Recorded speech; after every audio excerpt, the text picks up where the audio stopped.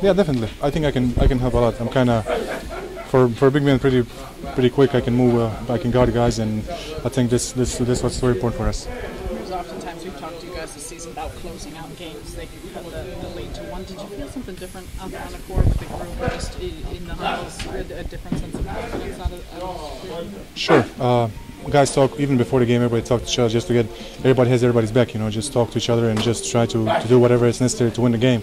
And I think um, okay, we, we didn't score in in, uh, in offense. Couple of couple of uh, chances we had, but after that we came back and we really defended good and, and got back in again. You know, I think defense gives us a lot, of confidence. When you play good defense, we play good offense. How much for you? Uh, did you play the three a little bit and, and switch? How, how much does that affect you, and how much adjustment does it take for you, depending on where you're playing on the floor? Uh, during the preseason, I, I play a lot too, like uh, uh, small forward who was outside. You know, just just uh, when you have people missing, and, and they, they, they, they kind of saw that I can play it, and so in some some games when we need it, I'm there.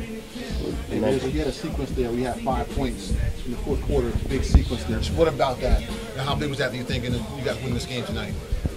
I think uh, it has a lot to do with the games before that I played. You know, I, I got a lot of confidence now. I, I played uh, last four or five games, and, and I tr- play really hard. You know, def- defensively and everything. And when you have confidence, you can do a lot of a lot of stuff. You mentioned it before, but how, how big is it to have Brooke back and have him on the post where, you know, if they try to double him, you're either wide open or Joe or somebody else is on the perimeter and they kind of, there's kind of not really a good answer for them. The thing is, it's, it's when Brook is out there, it's simple. You know, you get him the ball, and then uh, they have to double team. If not, he's gonna score every time.